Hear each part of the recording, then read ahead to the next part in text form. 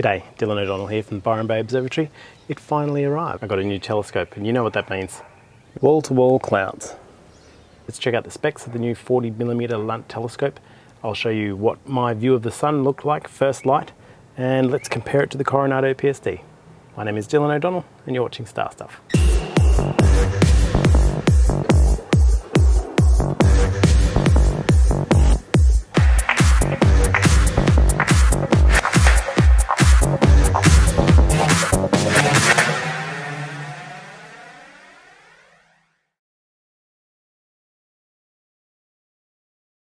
You know what the sun and a good looking person have in common? If you use the right filters, you can look at them longer.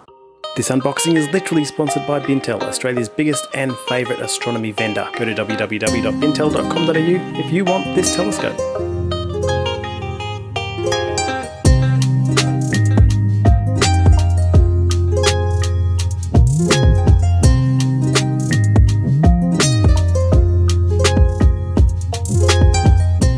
This sort of offset on an angle away from the main tube so that if I'm actually looking at the sun none of this stuff will get too hot or burn or anything like that. Put it at an offset, you're not going to be looking at the sun anyway while this thing is.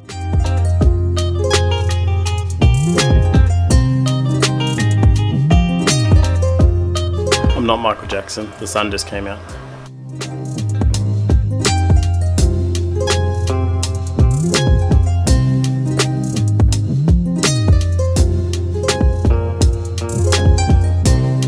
This might be hard to see, but on the sun finder here, you can actually line up the sun visually from an angle. So when you see that disc come in, you know you're lined up. You don't have to sit here behind the scope and look up at the sun like some kind of idiot.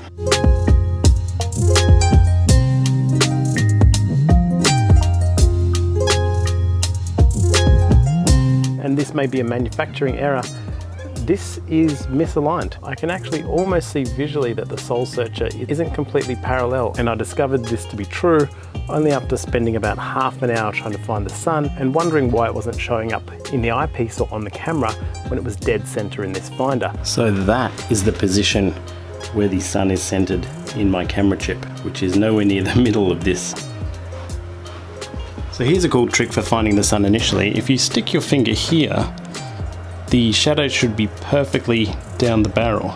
You'll see it parallel to the rest of the tube. And then just slew in until the shadow perfectly covers the front of the scope. And you will be very close to the middle. So this is a cool little scope. There's really only a few things you need to know about. This is where you tune and see the surface level detail that you want. The blocking filter, I believe, is here, which is B600 on this one. Uh, upgradable to B1200, I believe. Uh, that is on the way. You do focus around here only after you've got coarse focus by adjusting the length here. You do the fine focus here. So now we're looking at sun. I guess I need an eyepiece. I guess I'll have to go find one.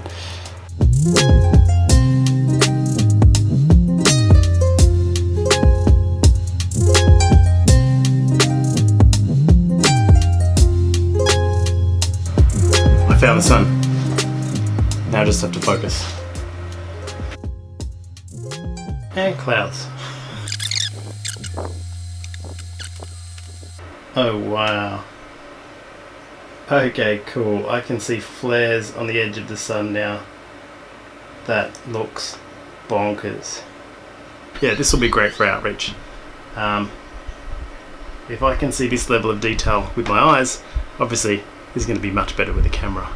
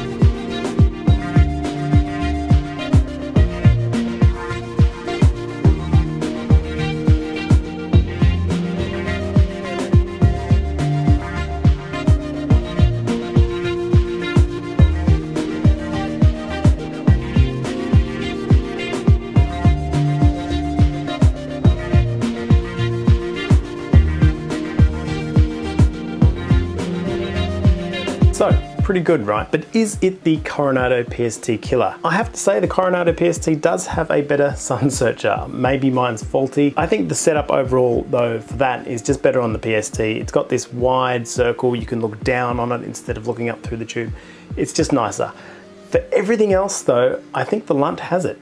The images that I was getting are just better quality than the ones that I got out of the same focal length Coronado PST. It is a better solar telescope. And the fact that you can upgrade the blocking filter as well, which I'll be doing later, means that there's a little bit more of an upgrade path that you can take with this telescope. As far as solar telescopes go, it's a very small, inexpensive telescope. Starting at just over $1,000 here in Australia, uh, an equivalent 60 millimeter version would be closer to $3,000.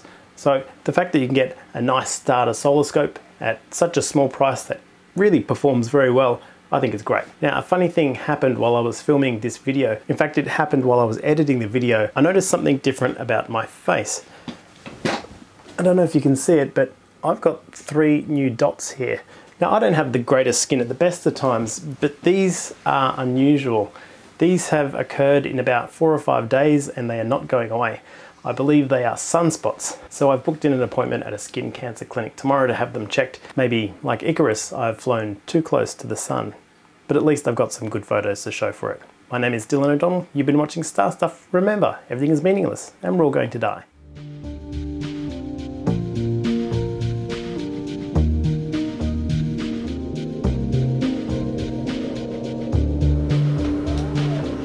want to see what the thousand is? They got more than one.